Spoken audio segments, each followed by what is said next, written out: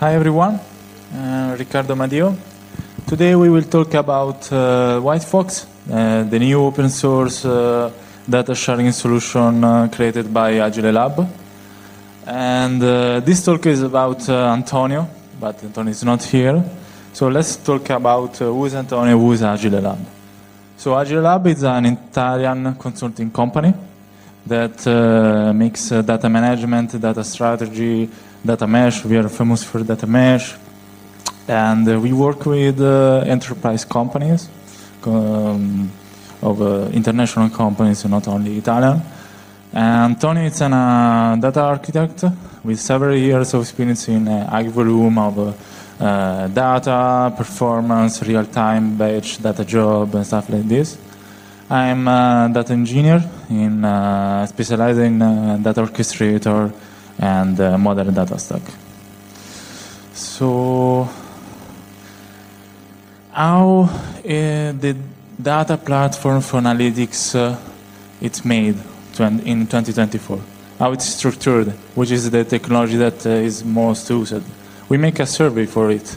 We create a survey on social and also in our customer, and uh, the result is that the, major- the majority of the, the technology used on data analytics uh, platform are data lake or data lake house. And uh, following from cloud data warehouse, uh, RDBMS, and uh, the data warehouse, it's, it's gone from this point of view. Um, let's let's starting before. Let's make a little bit of history and context about uh, the technology of the data platform.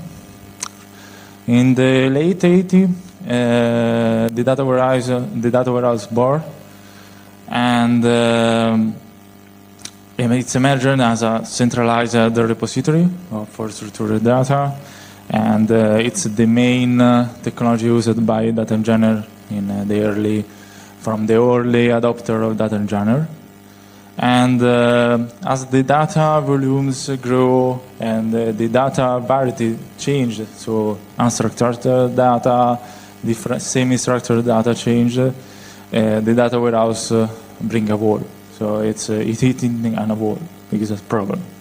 So it starts to create uh, a new idea, a new technology that's the data lake. The data lake um, in the early adoption, the early beginning doesn't uh, provide like uh, ACID transaction, uh, partition evolution, or other technology that we have now. In the data lake, uh, the first data lake, they just manage data sets that are semi-structured and structured data with a variety of high volume and a variety of data. Uh, in the latest years, they started the data lake house. The idea is to bring together the data warehouse uh, functionality and the data lake. So the data management, access layer, ACID transaction, everything regarding these two technologies mixed uh, emergent together. So, as we say, the data warehouse uh, it's uh, RDBS that is a mostly operational uh, data warehouse, but adopted for analytics. So it's it's not their work, it's not their job from this kind of view. But uh, if you imagine there is a curated layer on the data warehouse, you take this curated layer, you can create a pipeline, uh, data mart, whatever you want.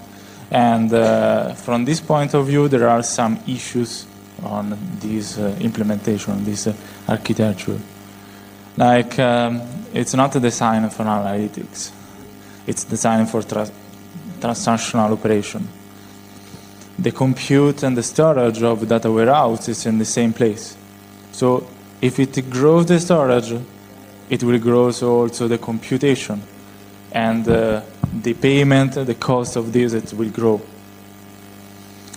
There are not too much data format. There is a limitation on the data formats in the data warehouse. And they're not cheap, as we know. So the data lake idea is very easy. There is a file system, a file storage, and uh, from the storage, whatever you want, there is a HDF or S3, whatever you want. There is a open file format like Parquet, CSV, whatever you want. And uh, there is a um, parallel engine like Spark or uh, Hadoop or whatever you want. And mix it together, it creates the data lake. So it's, it was amazing and it's still working. But, uh, sorry? Yeah, it's good. But uh, the majority of the data infrastructure currently now it's decouple the storage and the compute.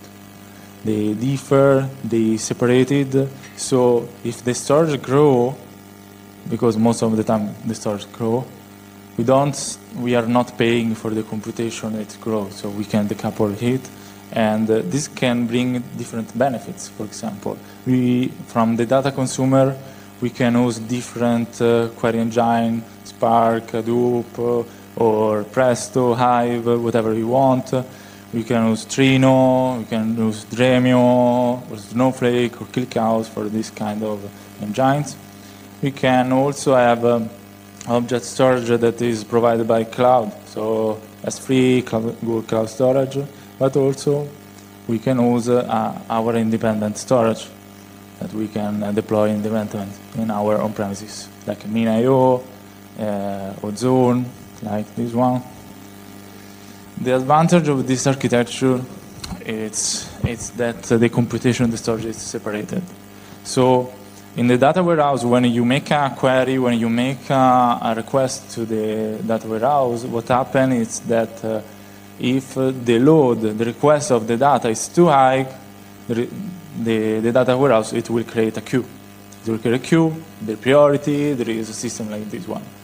In the data lake, no every consumer have a uh, different consumer uh, client library. So you can Spark or SQL whatever you want. And uh, from this point of view, there are no conflict on the consumer side.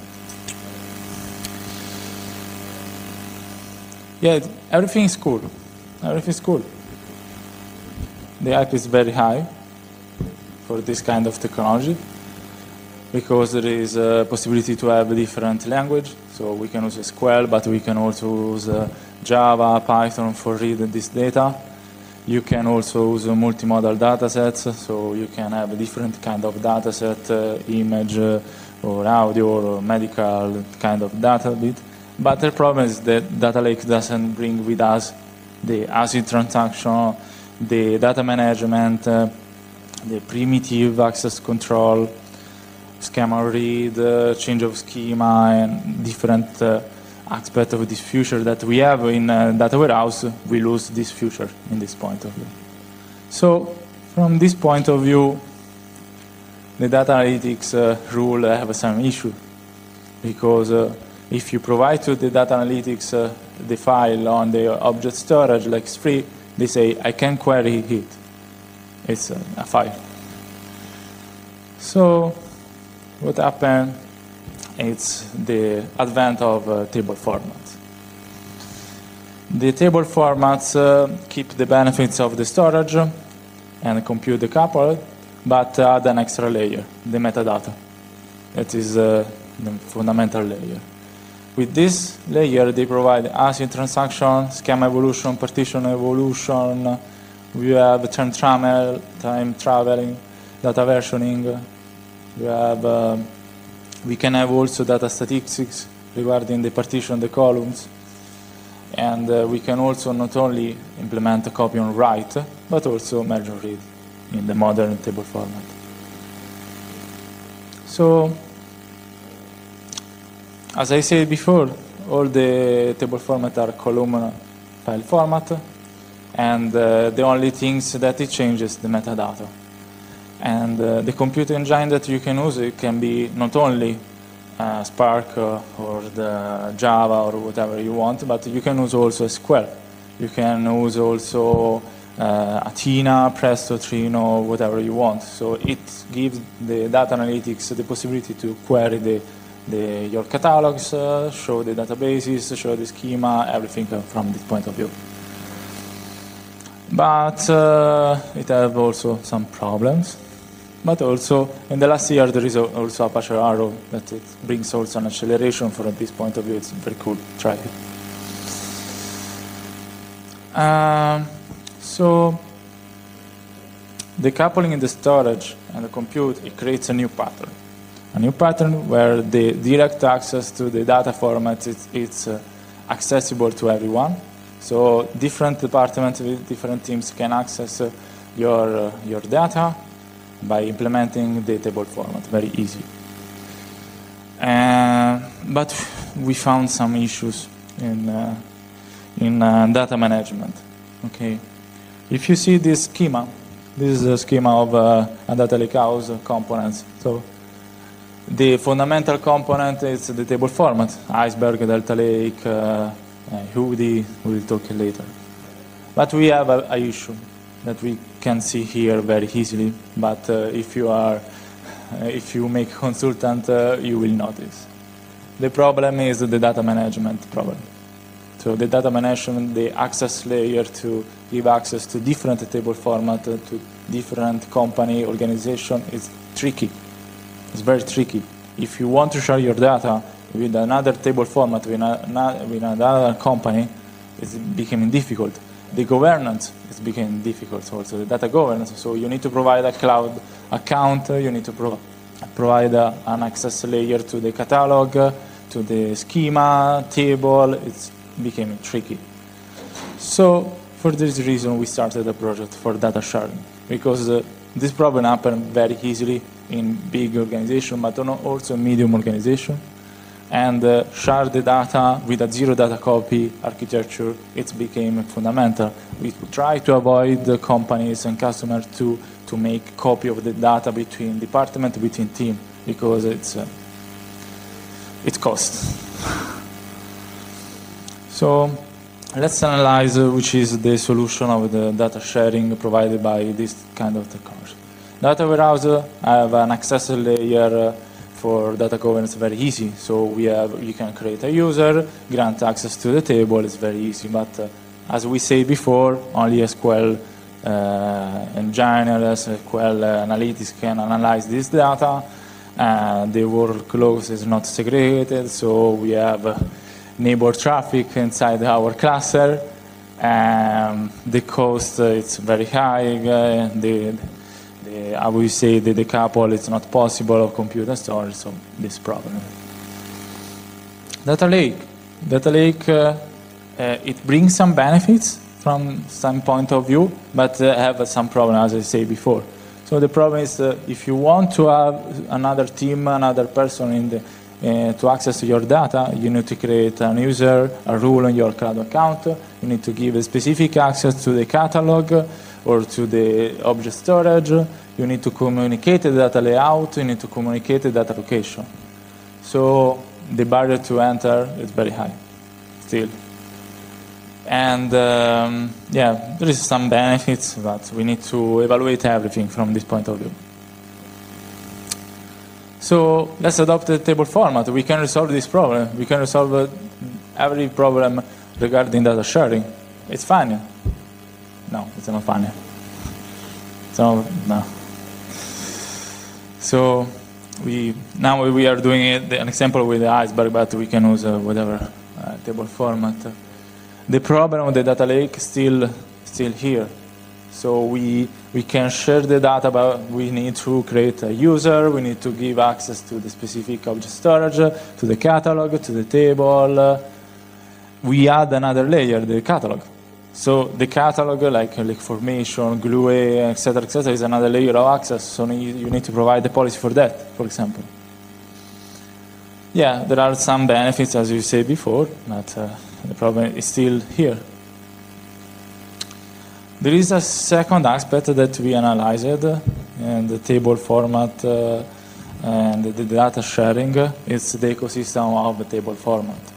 So as we know, Delta Lake, it's uh, made first for Spark, Databricks, uh, it's for uh, machine learning, uh, intelligence uh, uh, analytics, this kind of customer.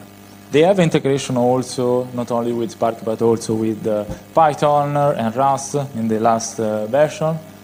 Iceberg is Java first, so if you have a Java virtual machine and you are working, um, you, have a SQL engine, the integration with the SQL engine and Java virtual machine is very, very, very easy to do. So like Athena, Presto, Trino, Dremio have a great integration with, with the Iceberg, but uh, as we say, Iceberg is it's pretty difficult uh, for people that are not data engineer from this point of view. Hudi is Java only, so it's a little limitation. So, as I said before, also the goal of this table format is different.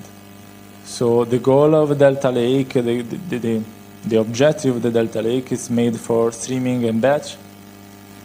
Instead, instead the iceberg is made uh, batch first. It is made for streaming first. So the, the curve of learning also is different. So iceberg have a high curve. I don't, I'm not saying that it, it's not easy to use, but the, the curve is high if you're not a data engineer.